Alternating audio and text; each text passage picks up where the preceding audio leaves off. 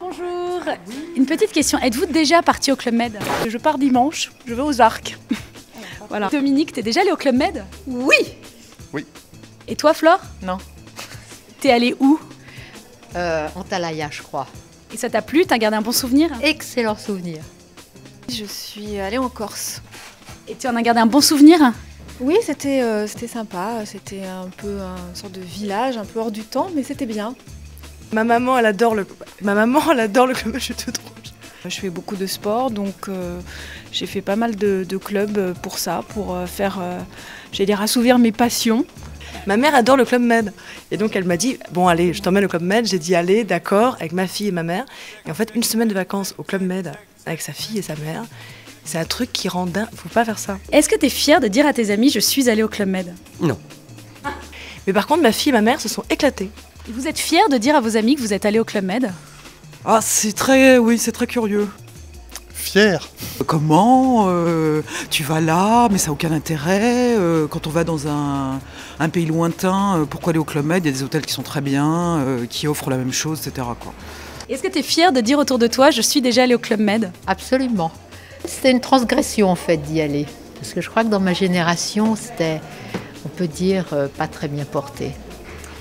Marie-Hélène, pourquoi n'es-tu jamais partie au Club Med? Trop organisé.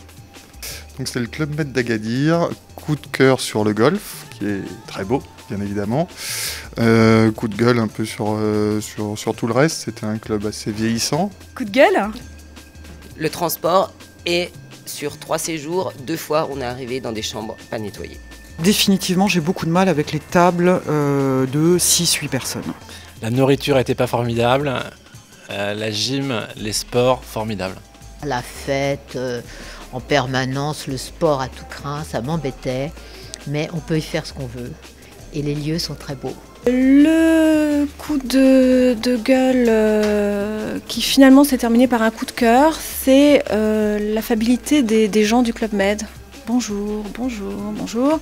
La restauration était extraordinaire, euh, les gens étaient sympas, euh, il y avait plein d'activités, on n'en a fait aucune. Le coup de cœur, c'est que tout le monde est super sympa avec les enfants. Et ça, c'est vrai. Et notre fille s'est super éclatée au club ado, ça c'est le truc, euh, voilà. Et pour choisir votre village, vous utilisez le catalogue Trident? Je le reçois à la maison, effectivement, mais moi je suis très internet. J'ai regardé le Trident et je suis allé en agence Club Med pour choisir. Je potasse ça euh, longuement euh, en rêvant déjà mes prochaines vacances. J'ai eu besoin d'aide pour trouver l'information exacte que je cherchais. Je suis allée sur le site pour voir les photos, euh, les photos du village. Voilà. Le seul truc sur internet, c'est que c'est impossible de réserver. Euh, C'était un peu euh, confus entre, euh, je sais plus très bien les termes justement, le New Baby Club et le Welcome Baby Club. ou Je, je, je sais pas. Qu'est-ce qui te ferait changer d'avis? Te dire d'un coup, ah tiens, et si j'essayais? Euh, Qu'est-ce qui te redonnerait envie de partir avec le Club Med Qu'ils assument le positionnement qu'ils ont, c'est-à-dire le luxe, euh, avec tout ce que ça peut vouloir dire de détails. euh, Être irréprochable sur l'alimentation, être irréprochable sur les sports, être irréprochable sur les enfants, avoir des matelas sur les fauteuils, des petites choses comme ça qu'on a dans les hôtels un peu luxe, par exemple.